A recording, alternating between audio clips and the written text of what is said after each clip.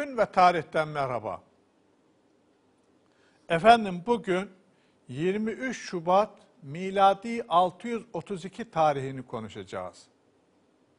Sevgili Peygamberimiz Muhammed Mustafa sallallahu aleyhi ve sellem ömründe bir defa hacca gitmiş ve hac etmiştir. Çünkü Mekke'nin fethi Peygamber Efendimizin vefatından sadece iki sene öncedir. Mekke'nin fethi, Kabe'nin kurtarılması, Kabe'nin putlardan temizlenmesi ve insanların, Müslümanların hac etmesine elverişli bir duruma getirilmesi Kabe'nin.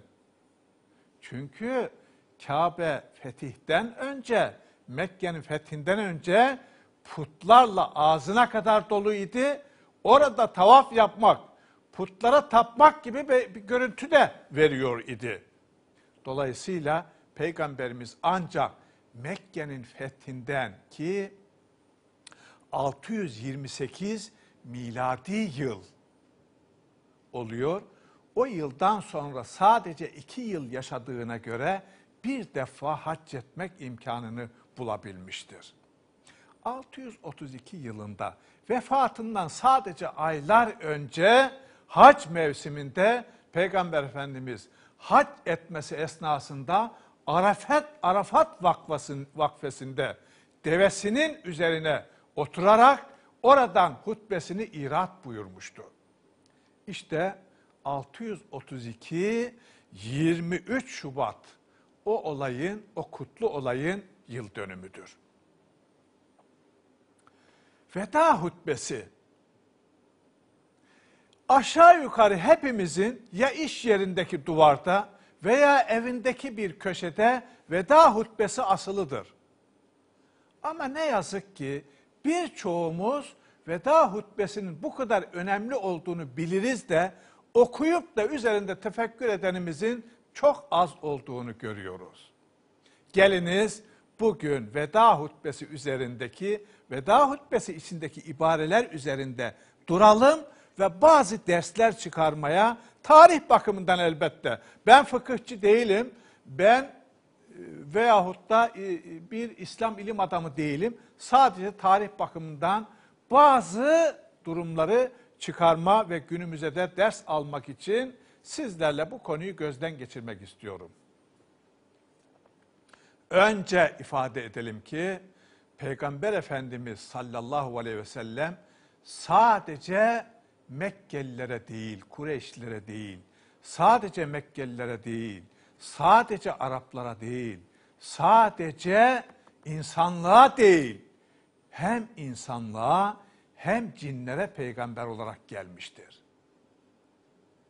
İşte veda hutbesi de sadece Müslümanlara değil, Müslümanların dışındaki insanlığa da hitap eden cümlelerle onlara da nasihat veren cümlelerle dolu olduğunu bilmemiz gerekiyor. O bakımdan veda hutbesinin bazı başlıkları ey müminler, ey Müslümanlar diye başlarken paragraf, bazı paragraflar, paragrafları da ey insanlar, ey insanoğlu diye başlamış olduğunu görüyoruz. Çıkarımlar yapmadan önce geliniz veda hutbesini beraberce sizlerle okumaya gayret edelim. Hicretin 10. yılıdır. Peygamberimiz sallallahu aleyhi ve sellem 9 Zilhicce Cuma günü öğleden hemen sonra Kasva adlı devesinin üzerine çıkarak Arafat Vadisi'ne doğru hitaplarda bulunmuş ve şöyle başlamıştır. Bismillahirrahmanirrahim. Hamd Allah'a mahsustur. Ona hamd eder, ondan yardım isteriz. Allah kime hidayet ederse artık onu kimse saptıramaz. Sapıklığa düşen düşürdüğünü de kimse hidayete erdiremez. Şehadet ederim ki Allah'tan başka ilah yoktur. Tektir, eşi, ortağı, dengi ve benzeri yoktur. Yine şehadet ederim ki Muhammed onun kulu ve Resulüdür. Ey insanlar! Sözümü iyi dinleyiniz. Bilmiyorum belki bu seneden sonra sizinle burada ebedi olarak bir daha beraber olamayacağım.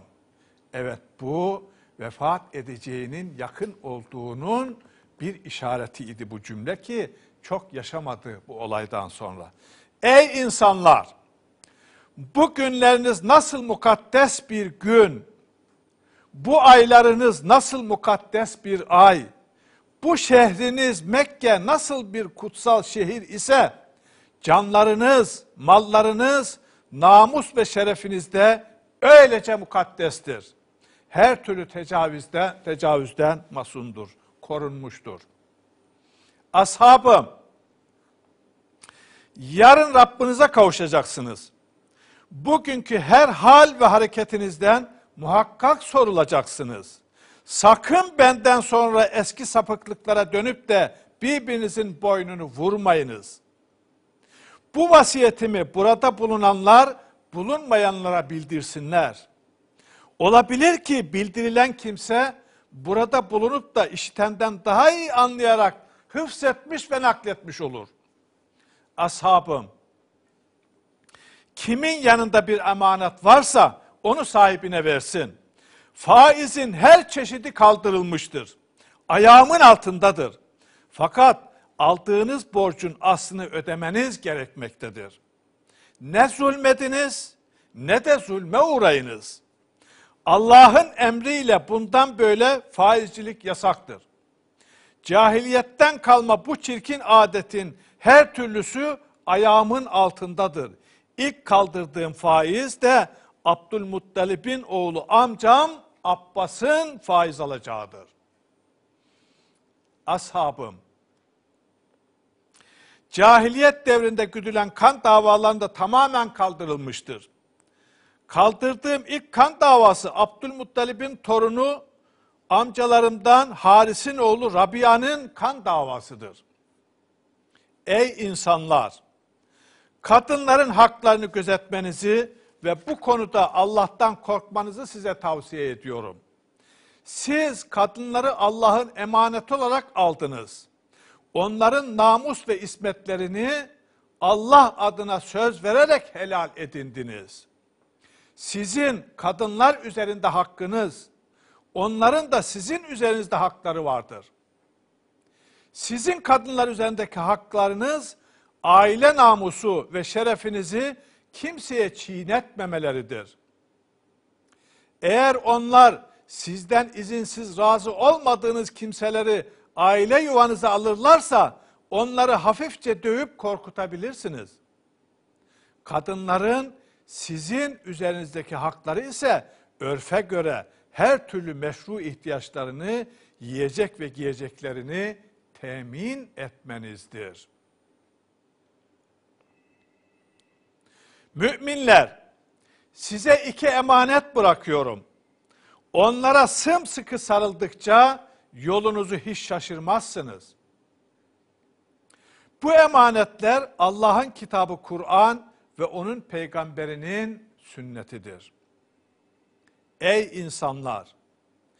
Devamlı dönmekte olan zaman Allah'ın gökleri ve yeri yarattığı günkü duruma dönmüştür. Bir yıl 12 aydır. Bunlardan dördü Zilkade, Zilhicce, Muharrem ve Recep hürmetli yani haram aylardır. Ashabım, bugün şeytan sizin şu topraklarınızda yeniden nüfuz ve saltanatını kurma gücünü ebedi olarak kaybetmiştir. Fakat size yasakladığım bu şeyler dışında küçük gördüğünüz şeyler de ona uyarsanız, bu da onu sevindirir, ona cesaret verir. Dininizi korumak için bunlardan da uzak kalınız. Müminler, sözümü iyi dinleyin, iyi belleyin. Rabbiniz birdir, babanız birdir. Hepiniz Hazreti Adem'in soyundansınız. Adem de topraktan yaratılmıştır. Hiç kimsenin başkaları üzerinde soy sop üstünlüğü yoktur. Allah katında üstünlük ancak takva iledir. Müslüman Müslümanın kardeşidir. Böylece bütün Müslümanlar kardeştir. Gönül hoşluğu ile kendisi vermedikçe başkasının hakkını el uzatmak helal olmaz. Ashabım, nefsinize de zulmetmeyin. Nefsinizin de üzerinizde hakları vardır. Bu nasihatlarımı burada bulunanlar bulunmayanlara tebliğ etsin. Ey insanlar! Cenab-ı Hak Kur'an'da her hak sahibine hakkını vermiştir. Mirasçı için ayrıca vasiyet etmeye gerek yoktur. Çocuk kimin döşeğinde doğmuşsa ona aittir. Zina eden için ise mahrumiyet vardır. Babasından başkasına soy iddiasına kalkışan, soysuz yahut efendisinden başkasına intisaba yeltenen, nankör, Allah'ın gazabına, meleklerin lanetine ve bütün Müslümanların ilencine uğrasın. Cenab-ı Hak böylesi insanların ne tövbelerini ne de adalet ve şahitliklerini kabul eder. Ashabım, Allah'tan korkun. Beş vakit namazınızı kılın. Ramazan orucunuzu tutun. Malınızın zekatını verin. Amirlerinize itaat edin. Böylece Rabbinizin cennetine girersiniz. Ey insanlar! Yarın beni sizden soracaklar. Ne dersiniz? Ashab-ı kiram bunun üzerine Allah'ın dinini tebliğ ettin. Vazifeni hakkıyla yaptın. Bize nasihat ve vasiyette bulundun diye şehadet ederiz diye bir ağızdan söylediler. Resulullah Efendimiz sallallahu aleyhi ve sellem mübarek şehadet parmağını göğe doğru kaldırdı. Cemaat üzerine çevirip indirdikten sonra üç defa şahit ol ya Rab, şahit ol ya Rab, şahit ol ya Rab diyerek o meşhur hitabesini bitirmiş olduğu 632 miladi yılının 23 Şubat'ında. Muhterem izleyicilerim. Elbette bu veda hutbesi üzerinde konuşulacak çok şey var. Tarihi bakımından çok şey var, fıkhi bakımından çok şey var. Alacağımız dersler açısından çok hususlar var. Mesela birileri çıkıp diyebiliyor ki, efendim faiz çağın bir realitesidir, buna uyacağız. Halbuki 632 yılında Peygamber Efendimiz sallallahu aleyhi ve sellem faizin her türlüsünü ayağımın altına aldım buyurmuştur. Dolayısıyla faizi şöyle veya böyle o devrin icabıdır veya küreselliğin gereğidir gibi savunmak ve uygulamak gerçekten de insanlığı ve bizim kendi kendimizi tehlikeye atmamız demektir. Diğer hususlar da öyle. Kan davasını kaldırdığını söylüyor. Kadın hakları ile ilgili nasihatlerini yapıyor. Efendim Mekke ve Medine toprakları hakkında bilhassa çok şeyler ifade ediyor. Burada şeytan ebediyen düzen kurma hakkını kaybetmiştir derken neleri ifade ediyor? Mekke ve Medine'nin başına neler gelmiştir tarihi olarak? Bütün bunlar ayrı ayrı birer programın konusudurlar ve günü geldikçe, yeri geldikçe inşallah bunları da sizlerle paylaşmaya gayret edeceğim. Peygamberimize salatu ve selam olsun. Sizlere Allah'a emanet ediyorum. Bereketle kalın efendim.